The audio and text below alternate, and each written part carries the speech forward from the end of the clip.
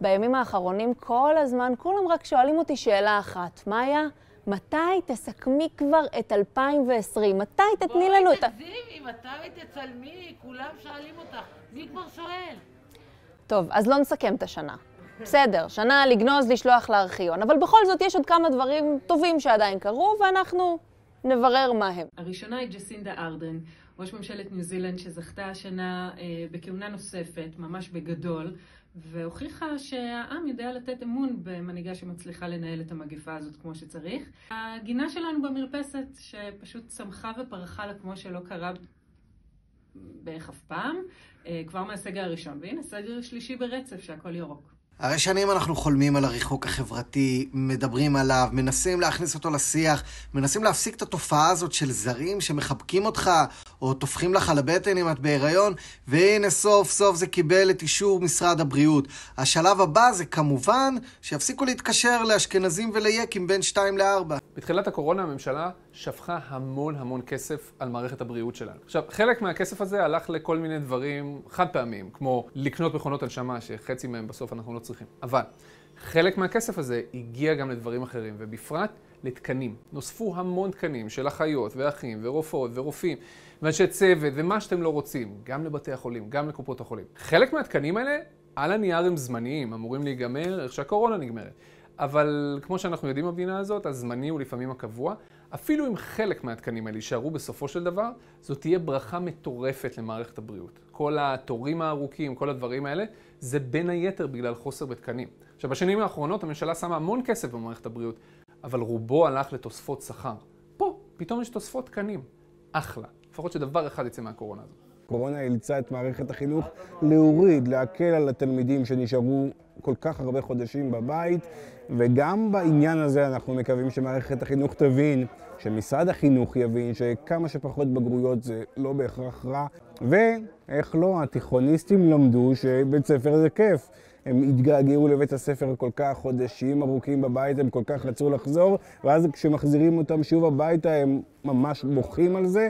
עוד ועוד מדינות וארגונים מבינות ומבינים שכדי uh, למגר את הסמים צריך בעצם להעלים את בני האדם, וזה לא ממש uh, עובד. אז אנחנו רואים יותר ויותר מדינות, למשל הברית ארבע מדינות עשו לגליזציה, בחרו בעד לגליזציה של קנאביס. אורגון הלכה צעד אחד קדימה והלכה על אי הפללה של סמים קשים, קוקאין והרואין. קולומביה גם עושה קולות בכיוון הזה, והאו"ם הוציא את הקנאביס הרפואי מרשימת הסמים המסוכנים, סוג של היסטוריה. אוקיי, קודם כל שאנשים יתרחקו קצת ממך, אוקיי? כמו שאתה נמצא עכשיו, כאילו, זה, זה מצוין, אתה אפילו יכול לקחת קצת. דבר שני, זה אלה. זה כאילו אסור, אנחנו חייבים להשאיר את זה גם אחר כך. זה, אין, זה, תראה מה אופיר עשה פה, תראה איזה מוזיאון.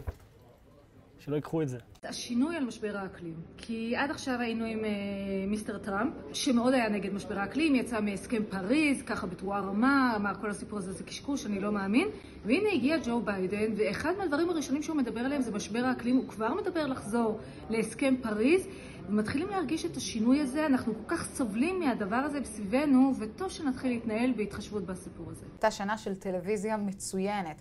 ממש כאן בתאגיד השידור הציבורי נוצרו הסדרות טהרן שנמכרה לאפל TV וגם שעת נעילה שנמכרה ל-HBO Max, אבל לא רק לנו היו סדרות טובות, גם לחברים שלנו ב-yes ובהוט. אי אפשר לסכם את השנה הזאת בלי לדבר על חזרות ועל מנייק ועל הטבח ועל עוד המון המון סדרות אחרות, אז אם יש דבר אחד לקחת משנת 2020, הייתה אחלה טלוויזיה. אני חושבת שכל הדברים שהפלסטינים מנסים לעשות בעשרות שנים האחרונות, לנתק קשרים בין ישראל למדינות ערב, להשיג מימון, להילחם נגד ישראל בבתי הדין הבינלאומיים, הכל פשוט חטף מכה מאוד קשה ב-2020, הסכמי הנורמליזציה, מפסיקים להם חלק מה, מהמדינות, בעצם הם הגיעו לתחתית.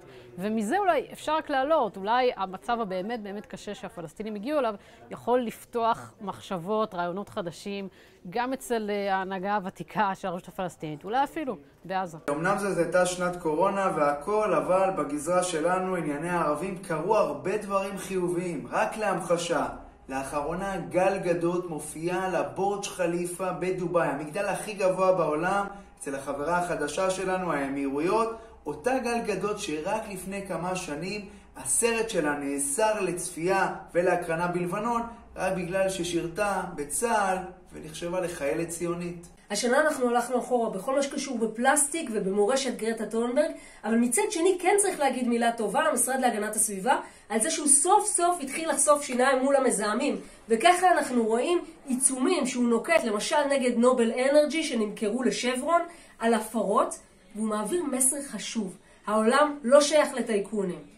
הם צריכים לשמור עלינו. הסביבה זה הדבר החשוב. כמה כולם שמחים שהספורט חזר, אפילו אם הוא חזר בלי קהל. ומה שעוד חשוב ויפה לראות זה שגם בלי קהל, יש שחקנים שאפילו יש להם יותר ביטחון, משחקים יותר התקפי, יותר חיובי, יש יותר גולים. כלומר, בסוף באמת כולם מרוויחים, אבל הלוואי שיחזור הקהל ושכמובן תעבור הקורונה. זה כל כך ישראלי למצוא משהו טוב בדבר כל כך קשה, אבל אם יש משהו שמייחד אותנו, הישראלים, זה כשפגשתי אנשים שאיבדו את העבודה שלהם או שנכנסו למצב נפשי קשה, מה שעזר להם זה זה שאנחנו מדינה שרגילה להתמודד עם משברים. ככה שאנחנו די מהר הצלחנו להיכנס לעניינים בניגוד למדינות באירופה או במקומות אחרים שרגילים לחיים טובים ורגועים. הבנו כמה חשוב לעזור לעסקים הקטנים והבינוניים. אז אולי זה לא טרנד, אלא יותר משאת נפש, אבל הוא טוב גם להגנת הסביבה וגם לשמירה על מקומות ייצור בישראל. וזה תמיד באופנה.